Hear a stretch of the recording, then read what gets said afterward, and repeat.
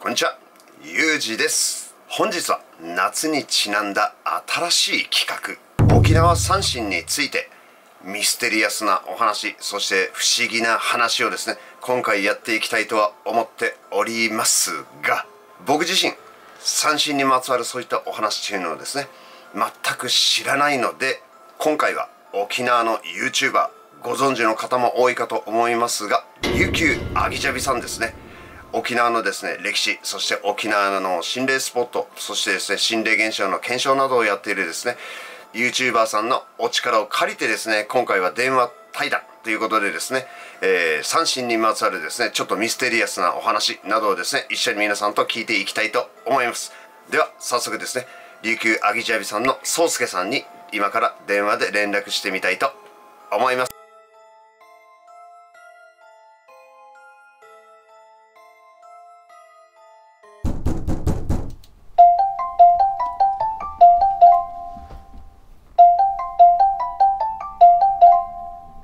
もしもし。はい、お疲れ様です。あ、お疲れです。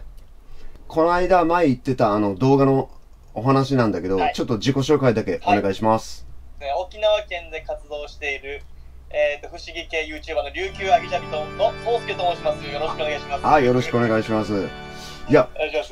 ちょっとね、そうちゃんに今回ちょっと連絡したのがさ、えっ、と、はい。三振にまつわるさ、なんかお話というかさ、怖い、歴史とかさ、そういったところをちょっと今回聞きたくって連絡したんだけど、何かある、はいはいはい。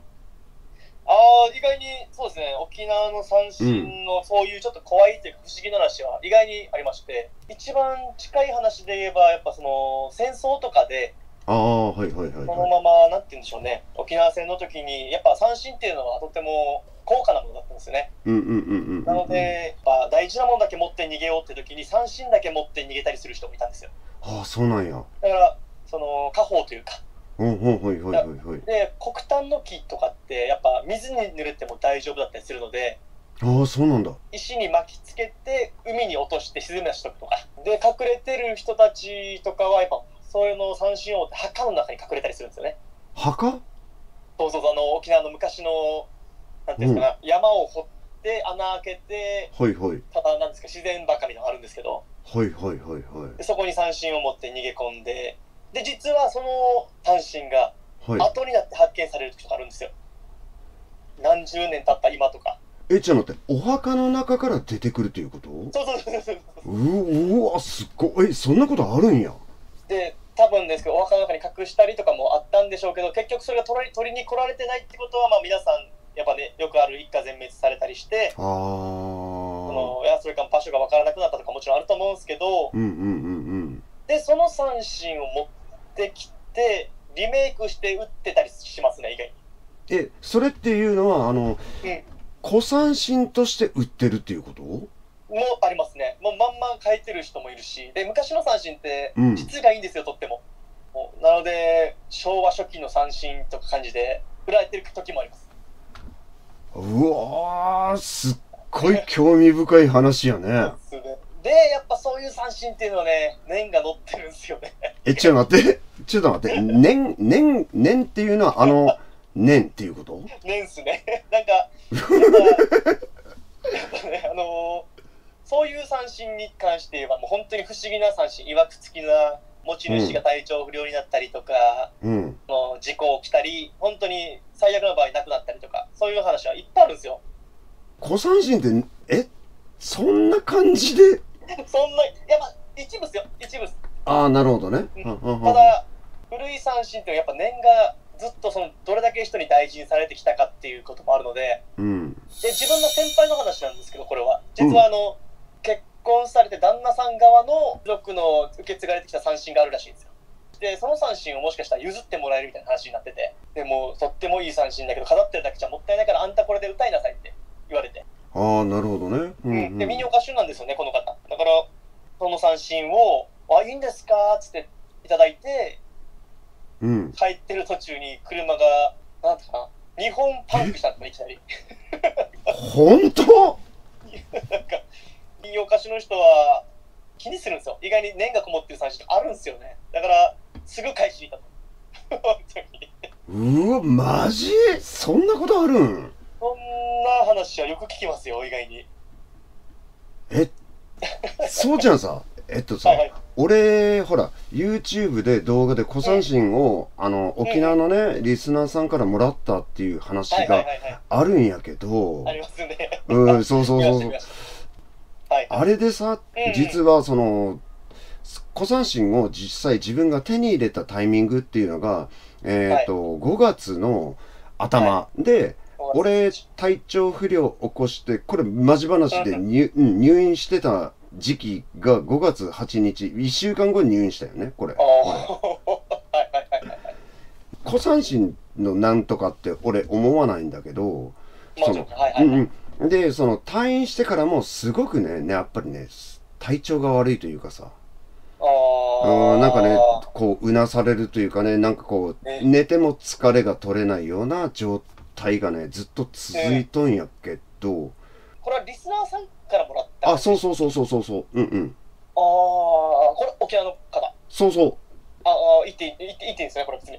ああそうこれは大丈夫。ただねあなんていうと、はい。そのもらった時にどういった経緯でどうのこうのっていう話では俺譲り受けてないよね、なるほどなるほど。ただただっていうか。そうそう。ただもうその譲りますとか言ってその倉庫に眠ってますっていう感覚で俺はその譲ってもらったわけなんよね今回。はいはいはいはいでもう、はいほらなんていうと俺なんて内地の人間やけんさすごいほら嬉しい話やんこれって。まあいやもう相当いいおねいい感じでしたもんね。うん、でもう音もさすごくいい音を出すからあこれはいはい。ものもらったなんて思ってねこう使ってはいるんだけど、なんかそういうねなんか今の話を聞くとなんかそんなのもね ちょっと感じれたりするわけよね。うん、一応やっぱ三振に関しての怖い話とかあっていろいろあって。はいあでるんだ。も基本念が乗るっていうんですよ。だから以前の人がうん。何かあって手放したのか、あそれとも一応、まあ、これこっからちょっと違う話になってくるんですけどあうんうんうん。えその三振がどうことかじゃないですよ。うんうんうんただうん。ハナンダー三振ってのがあるんですよ。ハナンダー三振？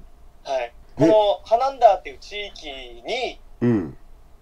があってですね南城市だったかな？どっかそこら辺なんです。玉城とかそこら辺なんですけど。そこの要は偉い人の墓がありましてはいはい。そこの墓に実は、えー三神がお供えられてたと。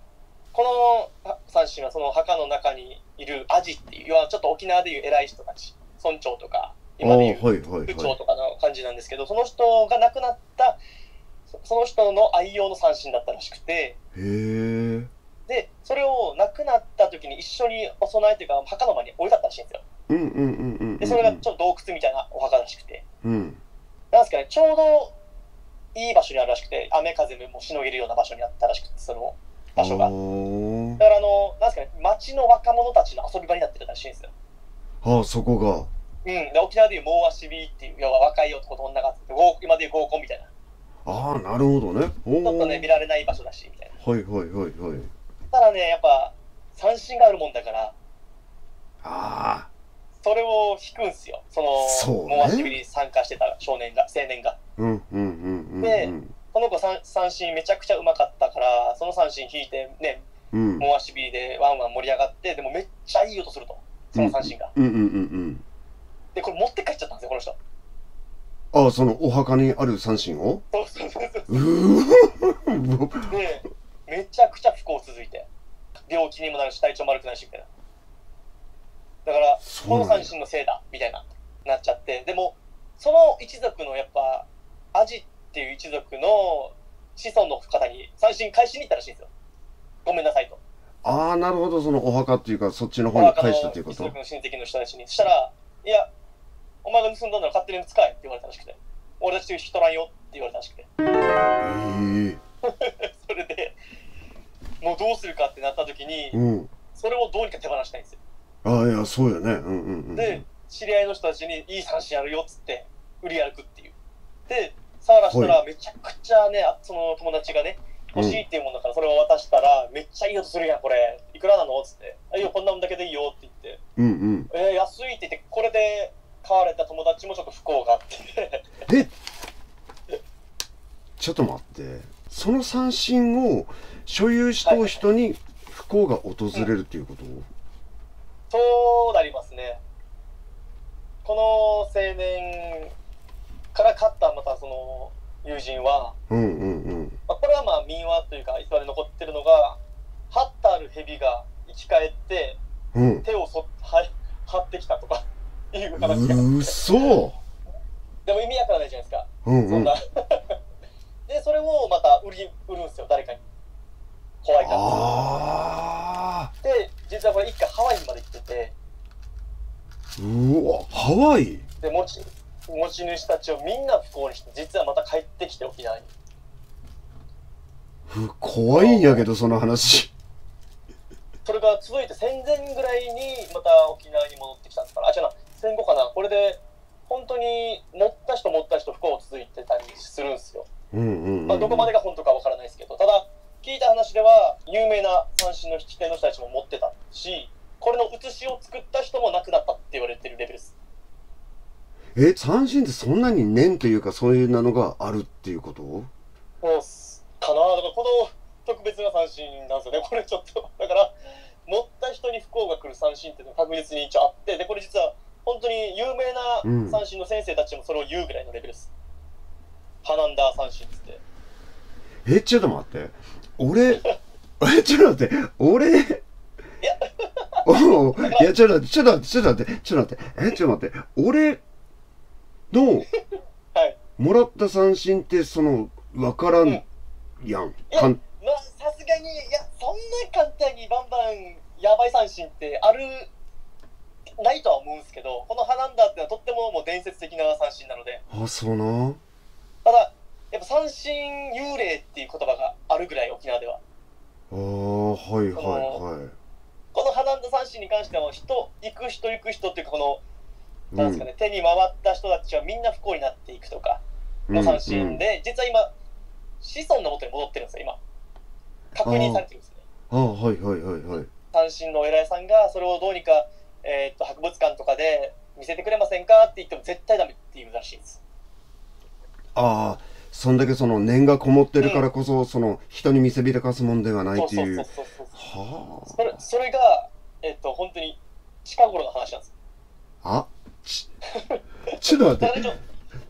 そんなにそんなに早い早いっていうか近頃の話なんやそれ。ちょうど5年前ぐらいに三振展っていうのがあって、うんうん。それいい三振をバンバン全国全国や沖縄県で集めてうん個展を開いたんですよ。うんうんうんいろんなイベントを。うんその時にもその方に声かけたらしいです。どうにか見せてくれませんかとっても素晴らしい三振だからっつって。けど、うんやっぱそういう人を不幸にしたっていう噂があるから、やっぱ見せられない。もうみんなが暗黙の了解で 呪われてると知ってる三振というか。えじゃあもう逆に言ったら世にも出回ってないそういったそうのん古い三振っていうのももういっぱいあるわけなんだ。いや、いっぱいあると思いますよ、正直。だってあの、なんていうんですかへね、まあ、ジュリってわかりますジュリあなんか居酒屋しかわからん。沖縄の居酒屋の名前しかわかんない。そうそう。あの、そ、そ、それ、まあ、それっちゃそれなんですけど、あの、要はちょっと遊女みたいな。吉原の遊女たちというか、ああなるほどね。はいはいはい芸妓さはいんというか、はい。うんうんうんうんうん。えーと、遊女さんたちが、実はこの、芸事として三振をやってる時代があって、ああなるほど。はいはいはいはいはいはい。で、とりあえずこのジュリさんたちって、うん。三振をやっぱ、なりわいにしてるというか、人に見せて、うんうんうんうんで、そこで生計立てるんですけど、やっぱ病気だってなくなったりとかするんですよ。ああなるほどね。確かに確かに。やっぱ、うん、年取って、働けなくなった人たちは、里帰りしたりさせられるんですよね。で、亡くなっても、墓には入れなくて、うん。死体だけ返せる時もあるんですよね、逆に。え？そこで亡くなったとしても。はあだから、あのーでも墓には入れないから、その今まで売られてきた人たちって。うんうんうんだから、あのー町の外れに、ジュリバカっていう墓を作るんですよ。そこから夜な夜な三振の音色が聞こえてくるっていう怖い話は、よく聞きますね。えじゃああのはい。ジュリバカっつってそのなんていうんかなこうネットで検索したら出るかどうかはわからないけどあのね辻のところにあるあそこから夜な夜な三振の音が聞こえる。というか、まあ、あそこはたまたま、まあ、辻にあったんですけど、実はもう、しなんですかね、沖縄のそういう市町村、うん細かいところも含めて、多分ジュリバカってあったんですよ、昔は。ああ各ん。市町村というかそうそうそうちょっと点々としてたということね。はい。そうですね。なので、やっぱ里帰りしたところの人たちがどこから来た、売られてきたかとか、あると思うんで、そこで、その夜な夜な、そういうのが聞こえてくるから、三振ももしね、一緒にうんうんうん。いいてるとかっていうのも話もあるので、だから、その、今、辻さんが持ってる三振の出所がわからない以上、その、何かに当てはまる可能性は、なきにしもあらずですよね。やばちょっと待ってそんな話聞いたらドキドキするやん。いや、まあ、怖いっすよ。だ体調、まあ、俺は知ってるじゃないですか、ツッチーさんが、あの、体調悪くなったのとかって。あうんうんうんうんで、まさかその小三振がどうこうっては思ってなかったので、これね本当ねもらった方にねはい。申し訳ないんだけどもらってからまあすぐすぐっていうかね1週間後ぐらいにはもうその急性的なもので入院をしたり退院した後でもそのうん本来やったらそのなんていうか回復な感じにはなっていくんだけどはい、何かそのすごくこうなんだろう体が重いというかだるいというかその寝てる時にゆっくりと寝れない。というかなんかねそういったところがねちょっといろいろとあるんよね。え俺が今それを聞いて。ちょっと当てはまる点がすごく多くて怖いんよね実際これさちょっとそうちゃん聞いてくれる？あのさ俺がそういう風な感じになってさいつもねほら俺の動画で後ろにほら三振で飾ってると思うんやけど。うん、そうん。うんあれってねちょっとこの小三振まあちょっと体調が悪いまさかと思いつつねちょっとねうん。今もう飾ってないんよね。置いてないよね。はいはい。でそれをするとね若干いつもと違ってねゆっくり寝れたりする傾向がね今ちょっとあるんよねだけあの小三これねちょっとこれ、は俺もちょっと笑いながら言うんだけどいやいやいや今小三振はねね。うん。別の部屋に置いとんよねああ、なるほどなるほどなるほど。辻さん、メーカーあるんですか？いや俺はないと思うよ多分おそらく今までそんな感じたことはないけど時折、ほらなんていうの？話聞いてうわって思うことはあるけどそれ以外はないよ基本ええー、怖っ。怖いっすよ、これ。これね多分俺のうん。勝手な思い込みなんかもしれんけどはいはいはいはいはい。三振まあ小三振をちょっとはい。いつものように、あねみんな並べてる三振のところに置いているタイミングでうん。実はその外したのがね夜中にさ、三振の音がね聞こえるんよね。これこれいやいやこれまマジ話でそのね。なんか曲をねガーンと弾くっていうよりは何かこうプーンっていうような一音ポーンと鳴らすような感じで聞こえてね。それがちょっとそれでちょっとね目が覚めたり寝つきが悪いような気がするね。これはねあくまでもそのうん。俺がほら夢見てそうなっとうかもしれんし自分が思い込んでそうなっとうかもしれんけどね分からんじゃねこれがいやーでももういやーなんか民話の話聞いてるみたいなんですけどそのままえ、ちょっと、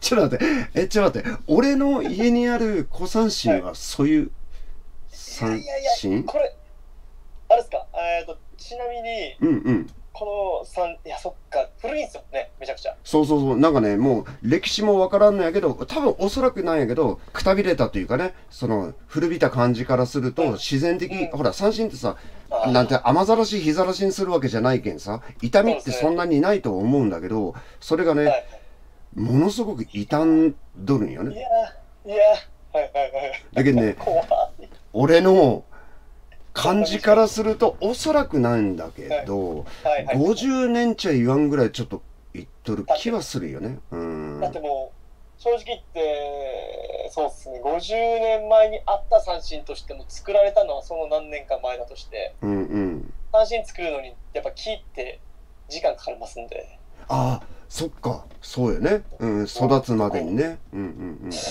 私あと乾燥させたりとかいろいろあるので、うんうんうんうんうんいやーだから戦前なのか何なのかっていうのもあるしえ先ほど言った戦争の感じな可能性もあるし。えそれってさ例えばの話、パッと外見とかで見極めるようなことってできるわけ、いや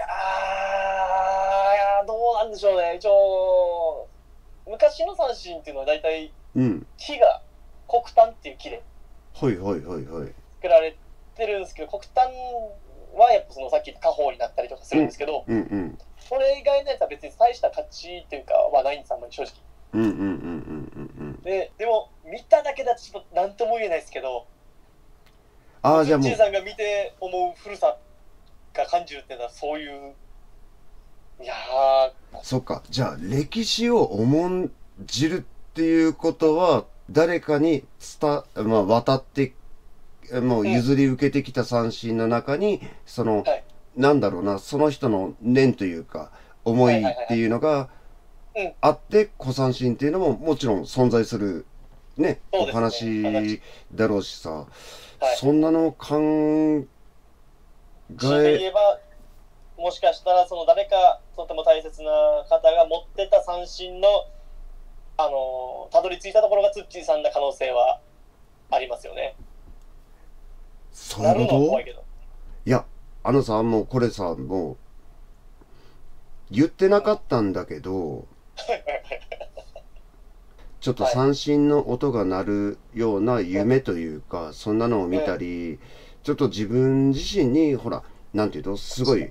不幸というかねこうあまり良くない状況があるから、は自分自身はこの三振が合ってないからまあその返そうというかねその本来持ち主に返そうっていう気持ちがあってはいはいはい。その譲っていただいた方に連絡を取ったよね。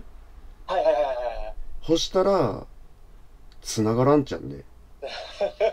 ちょっと待って、うわ、びっくりした。なんか、ごめんなさいいやいやいや、本当に、本当に繋がらんとよ。で、ほら、えこれってさ、毎日かけるわけではなくってさ、ほら、ね、考えたらさまあ、2、3日に1回、まあ、電話するとかさ、まあね、LINE で連絡はしてるんだけど、既読にもならないから、記録にもならない。そう、だけどね、もうそんなのがずーっと続いた状態で今、現状なんよね。いや、怖いや、もうね、俺もね、すごいね、なんか、そうちゃんの話を聞いて、ちょっと確信というか、ー いや、ちょっと、そうですね。実害が、実害っていうか、これ感じるんですもんね、それね。だって、まあ確かにな、小三子、そっか。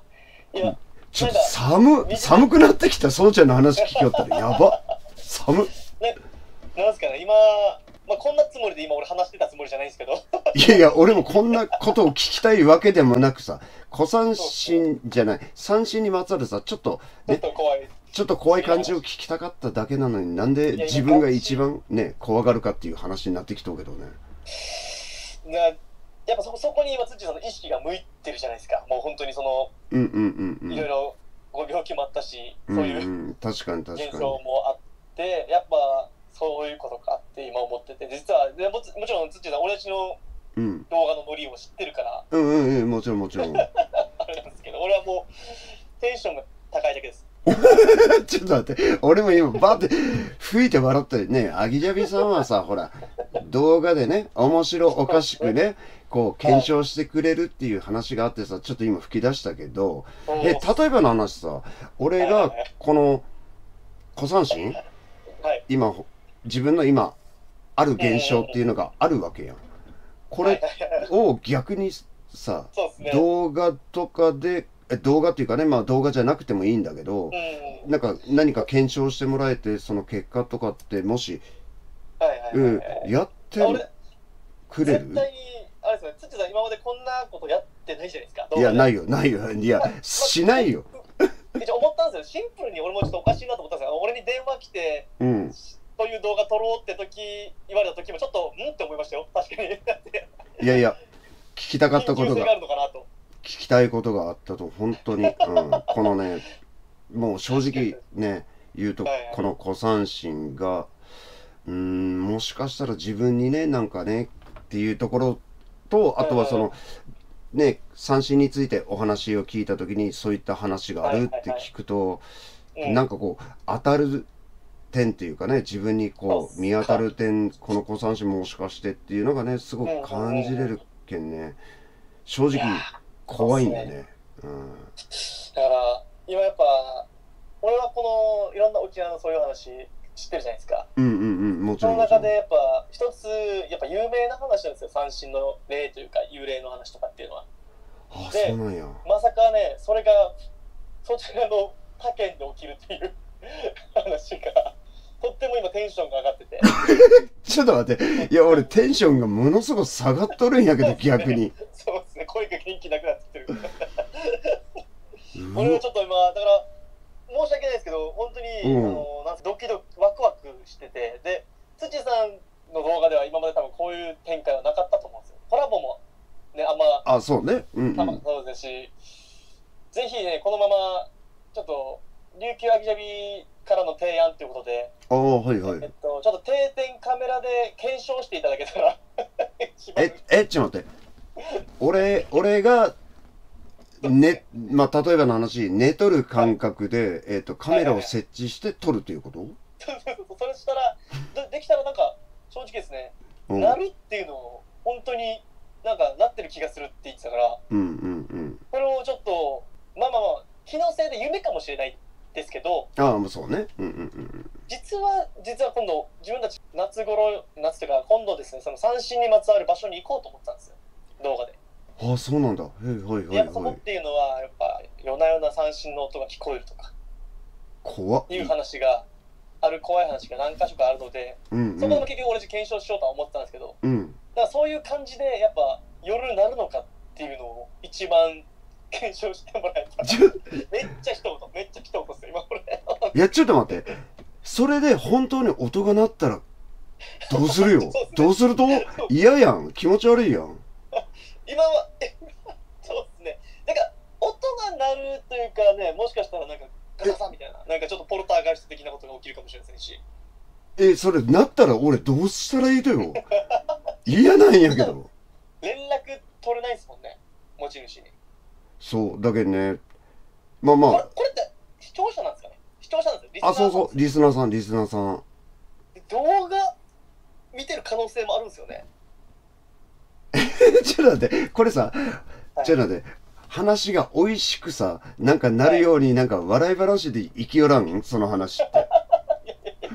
もしですよ。じゃあ見てさ。あの見てたとしたらもうなんですかね。一応返品したいのに連絡が取れないって話じゃないですか今うんそうね。うんうん。で一応もう俺的には一つのお祭りとしてそれを使ったコンテンツにしてしまえば ちょっとおおまちならやるなっていう。感じなんですけどちょっと待ってお祭りとしてコンテンツとして使う？ズッチーさんと自分の中で一応喋ってるじゃないですか。多分ああ。今までズッチーさんこんな動画撮ってないじゃないですか多分。いやないしし撮りたくもないよね。嫌いやもん。嫌やんこんな動画。まあ確かにね本当にでもやっぱうん。話じゃないですか、これってでも。もし本当にあった場合。そうねいやそうねっていうかそうだよ。絶対。そうですね。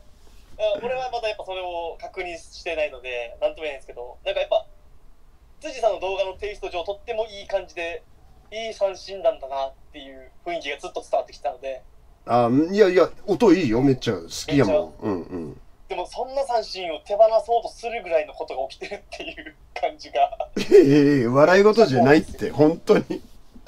マジかちょっとね、もしよければ、もし本当に辻さんがこういうのに、やばいって思うなら、こちらに送ってきてもらえたら、こっちはいくらでも生かし終わるんですよ。けど、まあ、うんうんうん、うん連絡取れないっていうのはきついですね。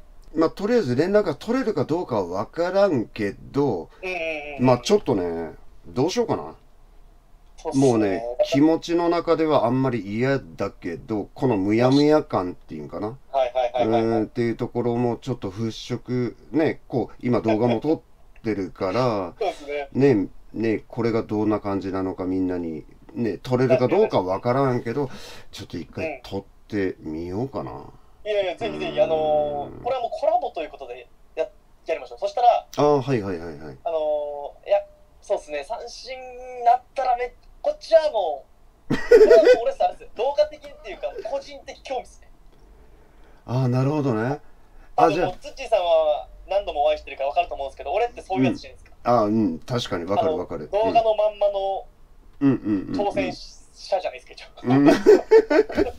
うん。もうすごい強者やもんねもあの、なので、俺はもうツッチーさんにそれをやっていただいて、新しいコンテンツとしてどうにか。う、うん、まあ、もしでも、正直になるとは思えないので、やっぱりああそうね。うんうんうんそう簡単にうん何か面白い、もし例えばですよ、その、うんうん着物着た女が出てきて、怖っが出てきて、も怖うそれなってきた瞬間、もうごもう最高っすよ、本当に。そらアギジャビさんは最高やけど俺もう俺それ死後硬直したみたいに固まるやろ絶対もう YouTube 界が一回荒れます。心霊 YouTube 界が荒れますよ。いやいやいやいやうわ寒くなってきたマジでいやいや、だだってそんな簡単に取れないの知ってるじゃないですか、俺たちって。いやいやそうね。確かにそ確かに確かに。うん。で、やっぱでも、今、実害が、実害、もしかしたら、もしかしたら三振のせいっていう話じゃないですか、これ。ああそうね。うん確実、でも、土さんの中では、やっぱそういう思いがあって、うんうんうん。絶対こいつの、ちょっとこいつじゃないかなっていう。うんうんうんうんうんうん。で、だから、まあ、これじゃないんだよっていうのを心に一回、なんかね、納得させるために、一回挑戦してみてもいいかなっていう。ああなるほど。あいいこと言うね。こうプラス思考。俺にとってはすごい今プラス思考の話だった。そうね。これは違うんだよっていうのを取らないからね。う。んそうね。まあ、だって正直、びっくりした。今そうちゃんごめんね。えーっとね、はいはい。GoPro で今撮影してたんだけどえーっと、はいはいはいはい。GoPro がさいきなり止まってさ動かなくなってちょっとね今はい。別カメラでまた撮ってるんだけど、うん。はいはいはい。ちょっと申し訳ないです。呪いとかじゃないですか。えそういうこと？いやめちゃくちゃ怖いじゃないですか。もうこれはもう検証するしかないですね。そういうことか。あじゃあちょっと撮ってみようかな。あ了解です。たらそれさ 動画にもちろん上げるんだけどはいはい。何、かあった時はあのそうちゃんまたお願いしておきますね本当にあの何かあった場合はちゃんとあのこちらに送ってきていただけたら。うんうん。了解です。えー、と今回はですね、えー、と琉球アギジャビの宗介さんに、えーとですね、沖縄の三振にまつわるお話っていうのをじ実は聞こうと思ったんですけれども不思議とですね、えー私の古三振そしてですね何か重なる点がすごく多くてですねちょっと今ビビってなぜか知らないけどいつの間にか検証動画まで撮らなくちゃいけないような感じに、ね、なってるんですけどねちょっとですね改めてまた琉球アギジェルさんの宗介さんにですねあの自己紹介というかですねこうちょっとこう言っていただければなんて思っております。いやいやあのはいえっ、とお騒がせしました。えっ、と沖縄でねいろいろ活動させて実はこういう不思議なこととか沖縄にまつわる伝統民話とかをずっと追求したりする番組をやらせてもらってるので、はい。えっ、とツッチーさんが今回こういう話を持ってきていただいてとってもワクワクさせてもらいました。本当にそうですねちょっとこういうの嫌いな人はね相当嫌いかもしれませんが。うーんぜひ、ツッチーさんのこの三振のチャンネルというか、沖縄のチャンネル。あ多分ね、逆にこういうの面白いと思いますわ。本当に今こういう色が違うですね、全く。ああそうですね。ありがとうございますって今切ろうと思ったら なんか面白い言葉言い言い出した。またよろしくお願いします。あの、また何かあの、コラボできる時うんうんうん。そうですね。また何かありましたらまた連絡しますんでよろしくお願いいたしますね。普通には、はい、やばいって連絡ください。またよろしくお願いします。了解しました。ありがとはいすいません。ありがとうございます。うございます。アギジャイフさんの宗介さんでした。ありがとうございます。はいお疲れさんです